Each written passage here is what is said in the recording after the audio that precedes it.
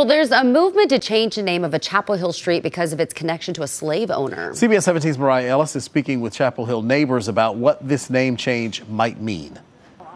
It's a sign drivers and students pass daily in Chapel Hill. Every day to, uh, when I walk to campus and home.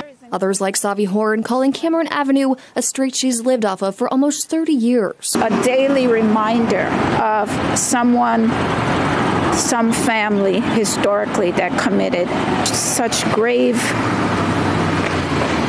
human rights issues of enslaving people. Residents, including supporters of the project called Change the Names, a movement to replace offensive street signs, are asking the town of Chapel Hill to change the name because of its racial ties to Paul Cameron, a pre Civil War slaveholder. They and others signed a petition hoping to replace the name and honor of American civil rights activist Pauli Murray. Who the streets are named after kind of represents the values of um, the local community. Changing a street name is not as common as you might think. In fact, the town of Chapel Hill tells us the last time they changed a name was here on South Columbia Street. That was about five years ago.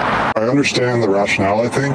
Um, probably one of the happiest days in Chapel Hill for me was when Silent Sam got torn down. A neighbor says he's worried what his opinion may bring and questions if the change is practical. I think I'm likely in the minority of people who think that it's not practical to to continue to take on initiatives like this. It's just to me not quite practical to always try and get rid of these symbols from the history of the past. Members supporting Change the Name say Cameron Avenue is one of a handful of streets they're asking town leaders to consider, something Horn believes will pave the way to healing. We can do the right thing and set an example for other towns confronting their past. In Chapel Hill, Mariah Ellis, CBS 17 News.